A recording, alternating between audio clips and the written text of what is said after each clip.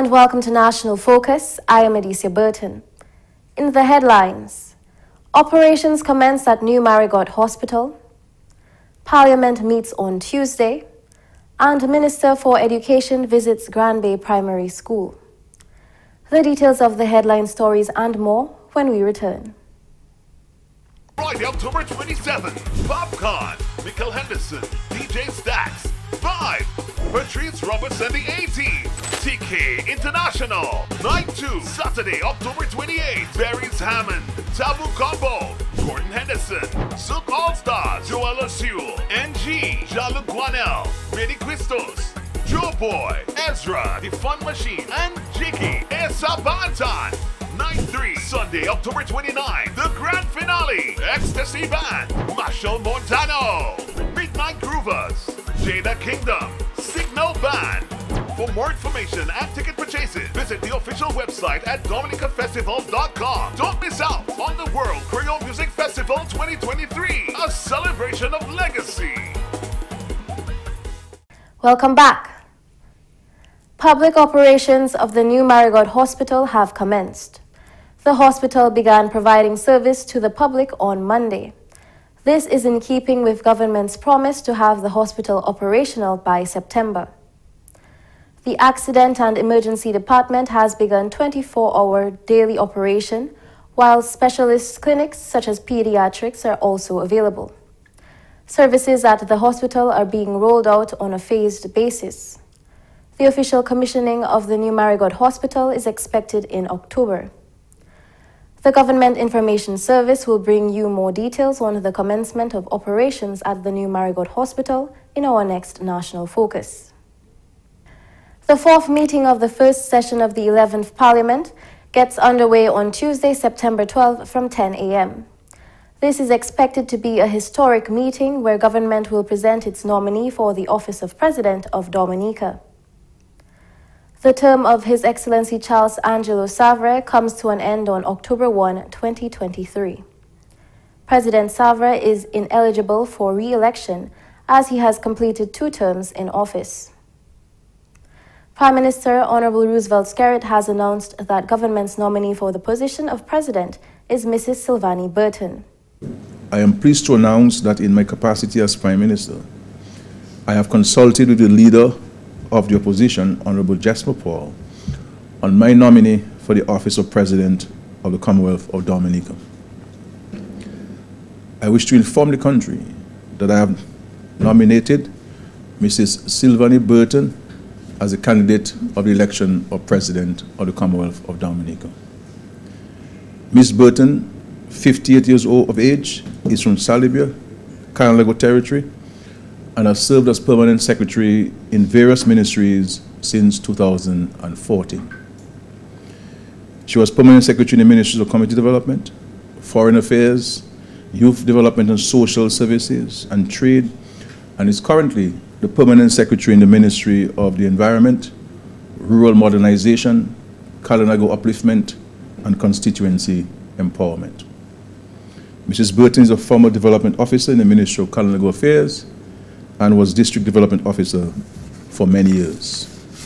She has been a justice of the peace for 25 years and has served as lay associate in the Roman Catholic Church for over 20 years. She holds a master's degree in project management and a bachelor's degree in rural development. Mrs. Sylvanie Burton is married with two children and resides in the Kalinago territory.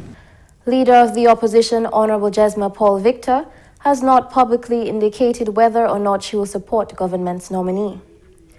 The Constitution of Dominica dictates the procedures to follow in the event there is no joint nominee for presidency.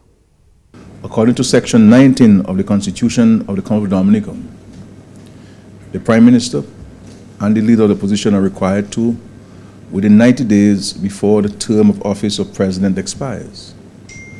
Consult with a view to agreeing upon a joint qualified nominee as a suitable candidate for election as President. In the event a nominee is agreed upon, the process is straightforward, and the Prime Minister is required to notify the Speaker in writing of a joint nomination. The Speaker must then summon a sitting of the House at which he must notify the House of the nomination and declare the nominee duly elected without requiring a vote. However, if we are unable to agree on a joint nominee, that is to say the Prime Minister and the leader of the opposition, other members of the House of Assembly are permitted to submit nominees for election to the office of President and an election compromising, comprising sorry, those nominees will take place. Parliament is also expected to offer condolences to the late Speaker Emerita Honorable Alix Boyd Knights and former parliamentary representative for the Salybia constituency, Mr. Francois Barry, who both passed away recently. The Government Information Service will bring live coverage of parliamentary proceedings. With the commencement of the 2023-2024 academic school year, Minister for Education, Human Resource Planning, Vocational Training and National Excellence, Honorable Octavia Alfred, paid a visit to the Grand Bay Primary School on Monday.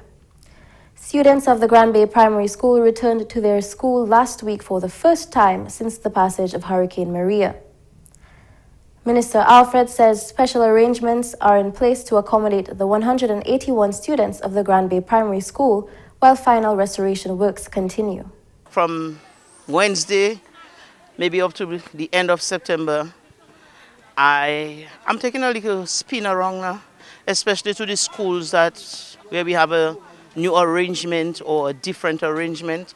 So this morning I came to see how Grand Bay Primary is doing, settling in, because they were at Grand Bay Secondary in the afternoon shift, and we try to accommodate them. The work at Grand Bay Primary, as you can see, it's, it looks good, but the work is still not complete. We have finishing touches to do, but we um, arrange space for the students so that they can be at their school doing a morning shift. Up to two they will go, and in the afternoon the, the work will continue.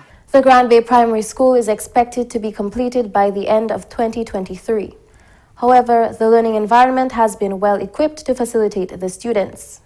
We are hoping that the work at Grand Bay Primary will complete by the end of the year, and so we can have the, the kind of a, not a commissioning because not a new building, but we will have a ceremony because we are going to rename this school after um, Edward Regis, Honorable Edward Regis from Granby, who served in his community at all levels and also in Parliament. So we're hoping that the work will complete, but the children, they're, they're in a safe place, they have washrooms, they have hand washing stations, and as you, you can go, we can go visit them as soon as they settle down. Um, we have made it quite conducive for them to continue their learning in their environment. Principal of the Grand Bay Primary School, Mr. Evans James, expressed his gratitude for the efforts made by the minister. I, I was shocked when I saw the minister today because I know um, she's a very busy person, but she has been in contact with me and she never told me she was coming to Grand Bay. So seeing her this morning was a little shock and the children were very happy to have her. Um, she being at the school this morning means a lot to me and it tells me the passion that she has for education and for the children in the country. It is one thing to tell you how things are, but to come and see it yourself, it's a different thing. And I was very happy that she saw what is happening at the school. And uh, I will continue working with her. If I have any problems, I will go through the, through the protocol, but um, we talk well. And I'm happy that she was able to address the children, the teachers, and the parents at the assembly this morning. Minister Alfred plans to visit schools with new arrangements such as Bellevue Chopin Primary School, Baroness Patricia Scotland Primary School, and the Northeast Comprehensive Schools, among others, throughout the month. 16 families from the Paix Bouche constituency could receive new homes as a Christmas gift this year. Major progress has been recorded on the housing development at Assiplat in Paix Bouche. Alia Martin reports. 16 families from the Paix Bouche constituency could receive new homes as a Christmas gift this year. Major progress has been recorded on the housing development in Assiplat, Paix Bouche. Minister for Housing and Urban Development, Honorable Melissa Poponne Skerrit, along with the parliamentary representative for Paix Bouche constituency, Honorable Akia Joseph, conducted a site visit of the project on Thursday to get a first-hand view of its advancement. I am very pleased with the progress thus far. Um, from my observation, it appears that I'm positive that this will be ready before the end of the year. Uh, many of them have made quite a bit of uh, progress in finishing. Some of them maybe could be ready as close as this month. And in this area, it, it, I would say it's like its own little village of garden style apartments, I would call it actually. Uh, there are about 16 units. Uh, the contractors are all local contractors. We have about six to seven contractors. And I met with a few of them today. Uh, many of them have, of course, people within the area working on these buildings, so about 10 to 20 people who are employed locally. These houses are being constructed to withstand hurricane force winds and seismic activity. Minister Skerrit says these houses are also being built with the possibility of expansion in the future. These homes are full concrete and it allows the person to actually build a second floor in the future if they want. And I've seen some of them that they could actually build below. So this, I know that whoever the recipients are, they're going to be very happy, very excited about it. I taught a few of them. Uh, the finishing touches are intact. They're clean spaces, modern type, um, open space concept with your kitchenette and your living room area. Um, many of them, or all of them, have little porches. You must have a porch when you're living in a tropical island. And uh, modern lighting, uh, some of them fans I see have been installed already. And so things are looking up for us here. Each standalone unit is costing over $300,000. Following the completion of these houses, focus will be placed on the Asiplat Road to complement the housing development area and provide better access. Meanwhile, parliamentary representative for the Paix Bouche constituency, Honorable Akia Joseph, is excited for the realization of this project. She also gave flowers to former Member of Parliament Miss Rosalind Paul for the inception of this housing development.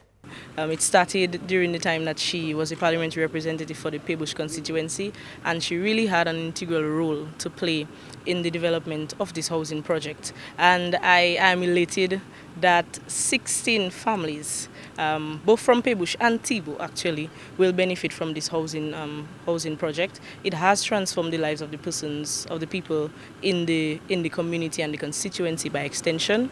We have um, at one point about 60 persons employed at, at one point on, on this project and even 20 persons, up to 20 persons on one of the of the duplexes and I'm really really grateful for that. So um, before the end of the year I must say the lives of 16 families will be transformed. Supervising engineer for the MMCE North projects Dr. Bertilia Bartley Peter, says the employees on this project have been working at a steady pace. Another thing I need to really um, elaborate on is the 15% that was instructed by the Prime Minister to help with the progress on the cost of materials. It has given an extreme boost to the contractors and they as well consider we've had some contractors who were dormant and since then they've come on board. They're fully active. Right now we have another issue. We don't have demand for the projects on site. So we have guys working and we need the retail companies we need the hardware companies to get together and get our material ready so that we can finish in time thank you alia for that report more housing developments are in the pipeline for the ministry of housing and urban development a recent site visit to Thibaud confirmed that plans are being settled to erect an apartment complex to improve the quality of living for people in Thibaud. Though in the preliminary stages, Minister for Housing and Urban Development, Honorable Melissa Poponne Skerrit, says this project is expected to change the lives of the people in that area. She says the apartment units will be of similar designs to the City Breeze apartments in Roseau. It will be a combination of commercial spaces and residential spaces.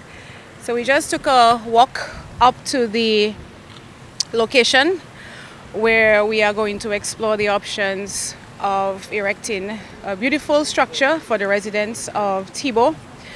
Um, my team from housing is here with me, and of course, we're in the preliminary stages, so we're going to go through the survey plans and so on and so forth. We have to acquire the lands, um, but this is what is in the cards for Thibaud as housing is concerned. Meanwhile, parliamentary representative for Thibaud, Prime Minister Honorable Roosevelt Skerrit, has already begun discussions with landowners for the acquisition process. Thibaud is a very small community with very little land available for expansion or for construction. Um, so luckily I've been able to speak to um, some landowners in the community and we, we put in, we put in a, a number of different lots together um, in a, in a, in a contiguous manner uh, to allow us to get some space to, to do some housing for the residents in Thibaud. So I know the Minister for Housing and her team um, went there to do the uh, inspection uh, so that the Land and Survey Department can follow up with the necessary processes involved in acquisition of, of private lands. Uh, once that is done, we'll move to do some designs um, and present it to the residents of Thibaud um, so that we can, we can look at it. Prime Minister Skerrit says the thought process behind the acquisition and piecing of small lots is to ensure that the community stays close-knit and within their own space. But what I'm trying to avoid is to build homes for the people who need homes in Thibaud, outside of Thibaud. Because once you do that, then you run the risk of, of, um, of causing the original Thibaud to die in a sense. Because the people who, who you're going to move are younger people. The people who are going to move are children. And if you move younger people and children from a community, then you know you have a problem there in terms of activity. And so I'm trying to see how far we can keep as many people in Thibaud by, by, by creating solutions within the space. So I had a very good meeting with the Village Council um, last week, and they also have bought into that concept. And um, uh, following that meeting, I, I, sent the Minister for Housing and her, her team to look at it and then advise me. You're watching National Focus. More when we return.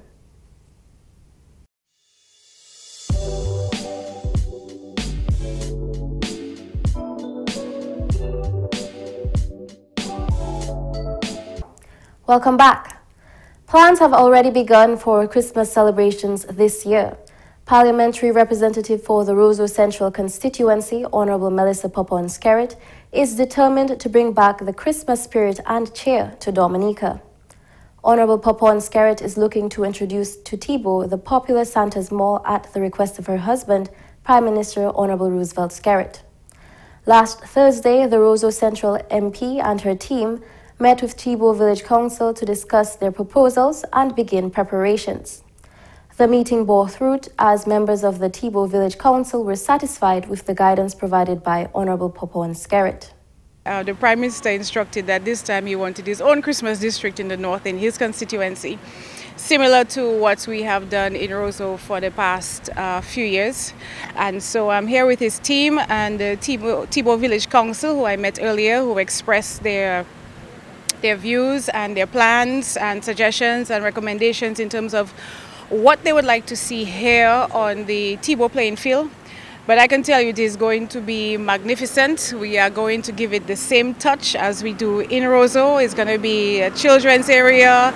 Um, it's an opportunity for all the local vendors within this village as well as the surrounding villages to showcase their items. I told them to get ready, start preparing from now, especially those who have to maybe import some of the raw, raw materials. Honorable Poponne Skerrit says the Christmas district in Thibaud will feature all things local, including talent. She says this initiative is all part of restoring the Christmas spirit in Dominica. There's a lot of children with talents that we may not know about who's really looking for an avenue to be able to showcase their skills. And so they are working on this. They seem to be very excited. And um, it's another way for the community to come together. Everybody can come together to make this happen.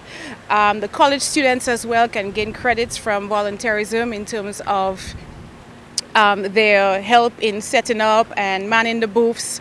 So this is going to be just as magnificent as I said, like Roseau Central. It's an, another Christmas stop where even someone in Roseau can take a drive up or from anywhere in Dominica and have another um, experience of the Christmas cheer that we continue to spread across Dominica.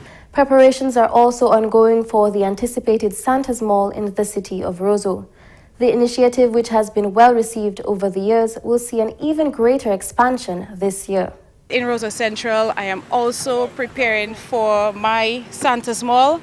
Um, I'm appealing to all vendors. There's a vendors call out. Get ready, get prepared, send your applications in because I will be coming to you very soon for us to start this process. Of course, it is going to be bigger and better. One thing I can tell you that it will not be on the Bayfront this time, but um, seeing that I am expanding every year, I think I have, I, I can't do what I have to do. I'm too restricted in terms of space on the Bayfront and I want it to be a little bit more accessible to the patrons who will be coming.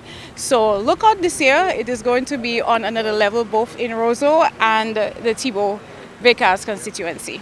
Christmas is a time for joy and togetherness. These creativities are being implemented to do just that across the island.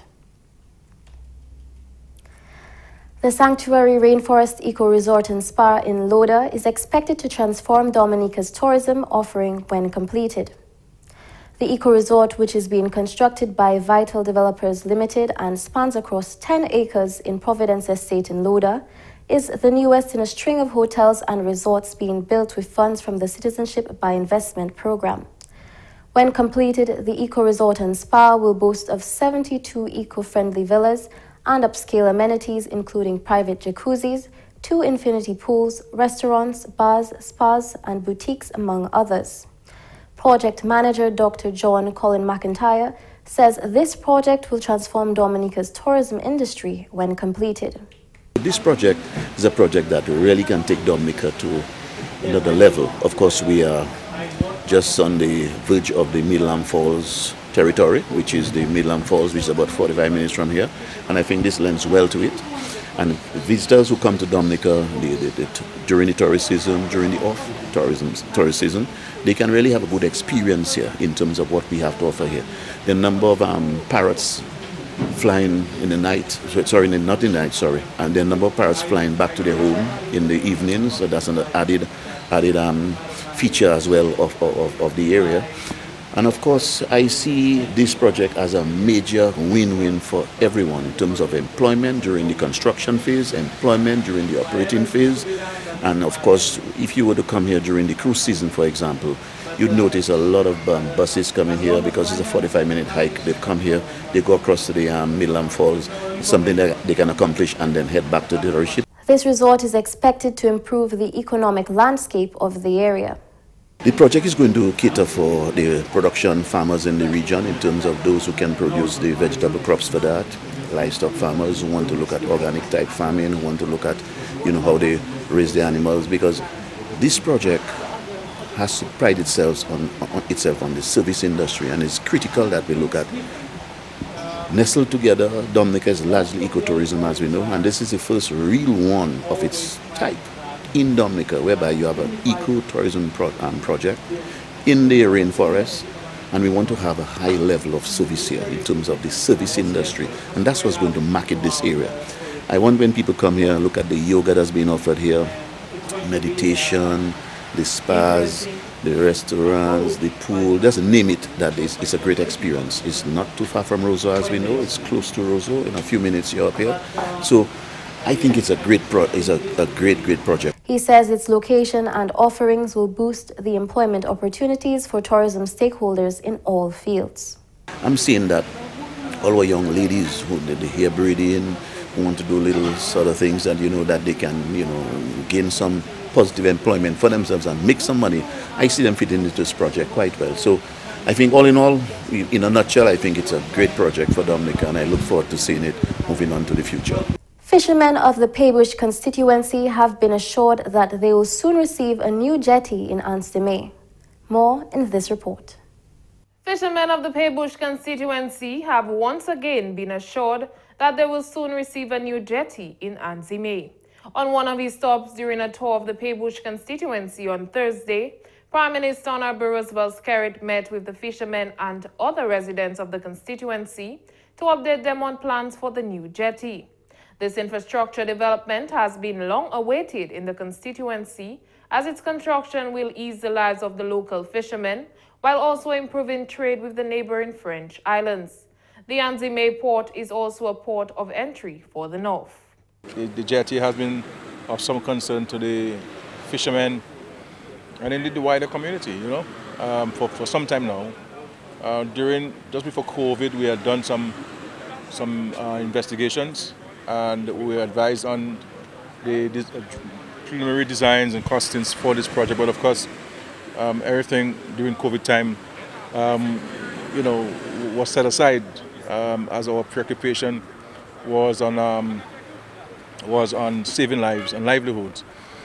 And so we have been able to identify um, some funding because the project is a is a wide wider project, including jetty, administrative buildings for the customs and and immigration um, reception area, etc., and improving the fishermen's lockers and all these things, and and creating a better ambience here.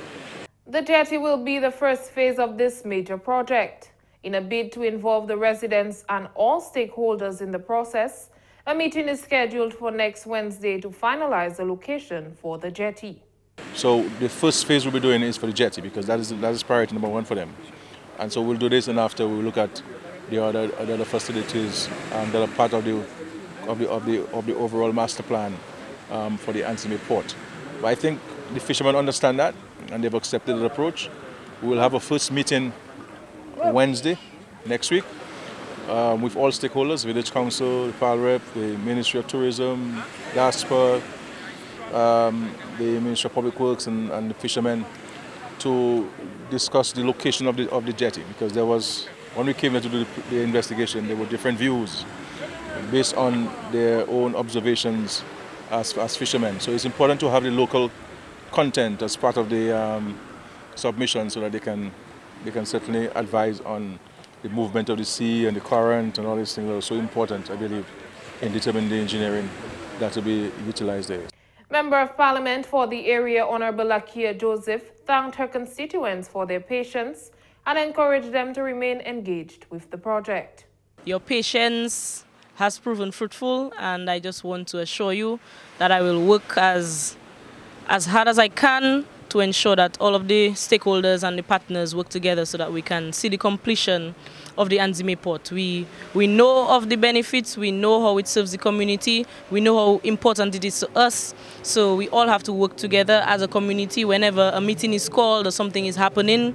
Let us all get involved, let us all get our hands dirty, let us all give our, our input, our opinions, let us all say how we feel, and let us all have a say. So at the end of the day, we cannot say this one or that one We'll say us because it's for us, by us, and it will be done collectively. So once again, thank you, and I give you my commitment that I will work toward the completion of the Anzime jetty together with the Prime Minister, the government of Dominica, and all stakeholders and partners. Minister for Tourism, Honorable Denise Charles, says when completed, the port will improve access into the country and boost tourist arrivals for the area. Access is a top priority for the government to make it easier for people to come to our country for tourism, for trade, not just by air, but by sea. And I know for a fact that this port is a very active port in, in Anzime. And, and so, as you heard the Prime Minister commitment, we are committed to delivering on this port. So once we can meet next week, we can finalize on the area and we can go to the design phase then you have the commitment from this government that your port will be delivered to you to enhance your livelihoods and their services and to increase visitor arrivals to Anzime. One local fisherman, Mr. Julius Carrier, is thankful to see progress on this project. It's a very long time now. We have been waiting for some work in reference to the um, jetty, and we're happy that we're seeing some, some form of action is taking place in reference to that. Once again, thank you. And that's all for this edition of National Focus. Be sure to follow GIS Dominica on Facebook, YouTube, and on Twitter. You can also drop us an email at gis at dominica.gov.dm. From all of us here on the GIS News production team, I am Adicia Burton. Thank you for watching.